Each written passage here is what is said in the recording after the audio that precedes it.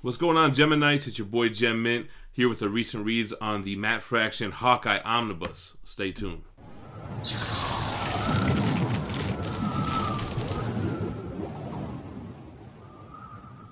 Alright, guys, just kind of ran through this omnibus in a couple of days.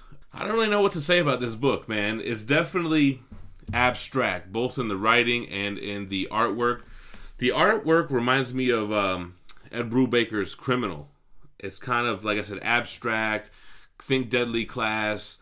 Um, pages all with the same kind of hue, uh, and a lot of interesting storytelling methods with the with the artwork. They got a an issue that's just like a dog roaming around. They have a lot of like subtle panels. We'll look through the artwork for, for the sky view. A lot of people uh, have a lot of praise for this book, and I think it was definitely an interesting read. Uh, they had a lot of humor. They had a, a, lot of character development. I mean, Hawkeye. I mean, I've never read uh, West Coast Avengers, but you know, and I don't know how much they developed him in those books, but you never see Hawkeye like this, like in the movies or whatever in the in the team books. They get to like the core of Hawkeye, although it's a Clint Barton that I'm not really familiar with. He kind of comes off as uh, I don't know how I'd, I would describe him. Kind of like a broken, beat down Matt Murdock at times. This collects issues 1 through 22 and annual 1, plus Young Avengers presents number 6. So the number 6 of issues of Young Avengers kind of sets you up where we're at in, in, in continuity. It lets you know this takes place after Civil War. Hawkeye was supposedly dead. Young Avengers hit the streets. Kate Bishop takes up the mantle as Hawkeye. She gets the blessing from Captain America. And then we find out that Clinton Barton uh, is actually alive. So that kind of sets us up for this run. And Kate Bishop and Clinton Barton have a pretty good relationship. Uh, I really like Kate Bishop. I thought that she was written really well, very likable. Um, except for the whole her father's super rich and she's like some spoiled rich girl. But uh, she's dope, man. She's got that eye just like Hawkeye. She can do all the arrow tricks, and you know she wants to be a hero.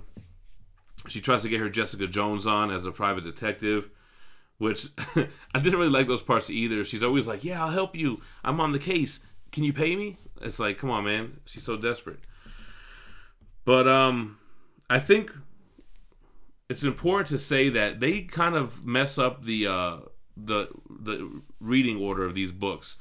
From what I pieced together from people in the in the Facebook group, the Geminites group, um, the publishing was a little out of whack on this book, and like issue 17 came, or 16 came before 15, and uh, this book kind of goes issues one through five, then 17, then seven, then uh, 8, 9, 10, 11, and then 6 later on. Like, it's really messed up. And, and I think they published this in order of publication, but uh, a lot of people recommended that you should read it 1 through 22. You shouldn't read it the way that the omnibus prints it. I didn't really feel lost. Uh, you know, to me, if um, if I'm reading something in this issue, but I'm supposed to read this issue first, if I read it in any order, I'm gonna figure it out at the end of the day. You know what I'm saying? Like, oh, okay, that's what that meant. So that didn't really bother me much. So you kind of have some villains in this book. Not really. I mean, he's going against these like stereotypical Russian mobsters wearing track suits, and everyone's gonna want me to say it. The whole bro, bro, bro. This is no good. like every other word they say is bro, and it probably is kind of like how people feel like how I talk in the San Diego Comic Con video saying dope, yo, dope. These guys are saying bro every two seconds, bros.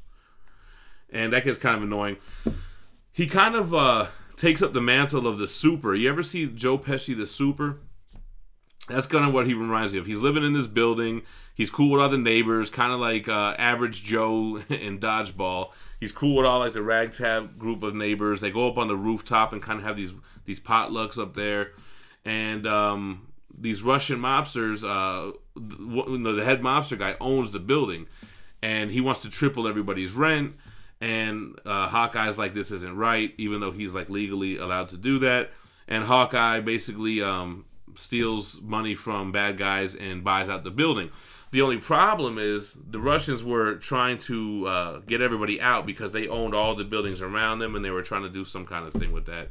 You know, they, they really just wanted everybody out so they could do what they got to do. Uh, you have Madame Mystique, who's a um, who plays a villain in this. No, Madame Mask, my bad. And then you have this killer clown assassin guy that works with the Russians, and uh, he's pretty badass, pretty creepy looking. So, what really happens in this run? I mean, nothing really happens. That's kind of my only little thing about it. It's like a fun read, but you know, I do like uh, stories that have a larger scope and a lasting impact on the universe. And this is just kind of like what Hawkeye's doing when he ain't with the Avengers. You know what I mean? And I think they even kind of reference that in there a little bit. So, um, it's not a book that I would say like recommended to like new readers. Hey, you got to read Hawkeye by Fraction. I mean, it was a cool, quick read. I enjoyed it. I probably wouldn't reread it again, but it was all right. You know, um, I guess at the time it was a New York bestseller, Marvel's best comic. You get to meet uh, Hawkeye's brother, and they have a pretty interesting dynamic. It even goes into their childhood that the father was abusive, would beat the mother, and Clint would always try to fight his father, and he would get his ass kicked. And his older brother, uh, Barton, what was it? Well, they're both Bartons, but Barney Barton, I guess. Yeah, his deadbeat brother Barney. Older brother taught him how to fight, taught him everything he knows, and uh, they have a like a kind of dysfunctional relationship too. Anyway, let's take a look at some of the artwork, and I'll give you guys a better idea of uh, Hawkeye by Matt Fraction. All right, so the front of the dust jacket is kind of similar to how the whole tone of the interiors are. Uh, Matt Fraction, and I don't know the artist, Aja, Aya. I'm not really familiar with that person. Sorry. Here we go. Got the white spine. Here's the back. This had a $100 cover price. The book has the same um, pattern on the front and the back of the hardcover. Very kind of retro looking targets. He is an archer. So I feel like the book didn't really have much. It gives you like a little um, table of contents and then it just takes off. But here you can see the numbering, right? Um, Oh, I guess not. But 1 through 22. But here's 4 and 5. Here's 7. Those are just the different artists. But they uh they do have a continuity issue here. So here's the Young Avengers thing. It jumps in and gives us an idea of who Kate Bishop is. Different kind of art style. That's actually Hawkeye as Ronin. Uh, I guess during the events of Civil War. Civil War. Then we get into issue one, and you can kind of already see the art direction change to very flat. Like this is like very modern, but the artwork throughout this book is like I almost want to call it four color art. And this reminds me just out of like the the first Avengers movie. Here you go, bro. See these guys with the track suits, the Russian gangsters. They say bro after like every word. They got some dog stuff in here, and they really uh, they really tug at your your feels there, tug at you in the feels with the hurting the dog stuff. I'm not a fan of that. Kate Bishop is dope in this book. Uh, I loved her a lot at first, but I kind of started to not like her character as much toward the end of the arc. I don't know, just something about it rubbed me the wrong way. I don't know if it was like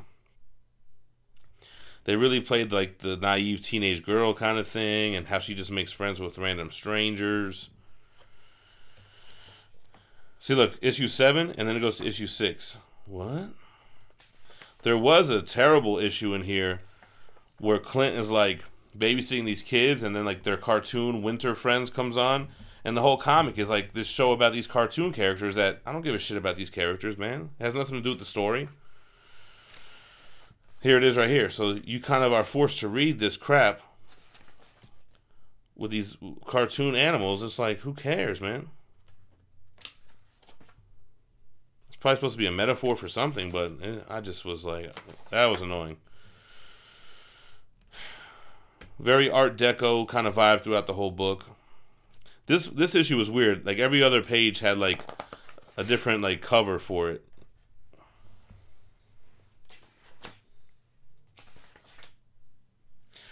This is like the OG of the Russian game. gang. Oh yeah, bro. He even talks like that too.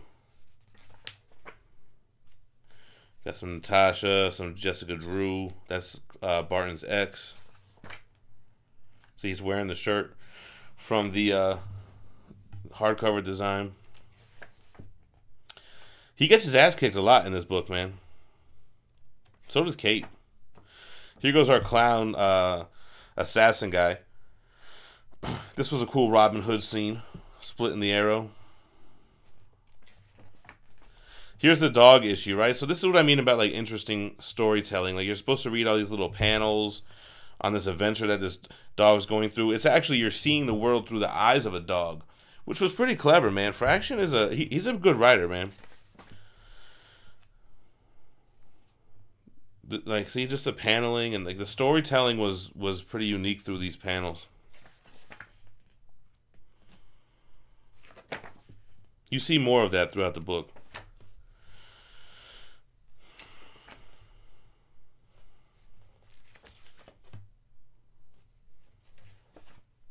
But you see how like everything is like similar colors. This is just purple and yellow. This is all purple. This is all like teal turquoise.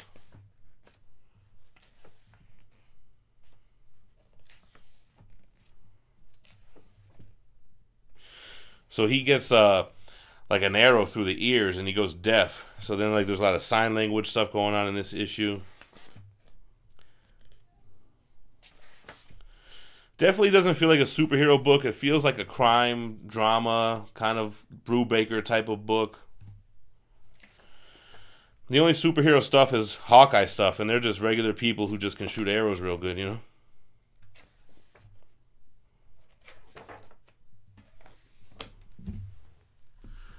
All right, guys, there you have it. Nothing really spoiler uh, spoilery in this book, so we don't have to have a little after credit scene or anything. But that was the Hawkeye review. I wanted something really quick because um, I want to read this He-Man Masters of the Universe omnibus that actually just came in today. So I wanted to hurry up and knock something out in between. Um, happy I read it. Another notch under the belt. And um, yeah, man, let me know what you thought about it in the comments below. Make sure to hit that like on the way out and make sure to subscribe to the channel for more recent reads and other daily content. Stay minty. Peace.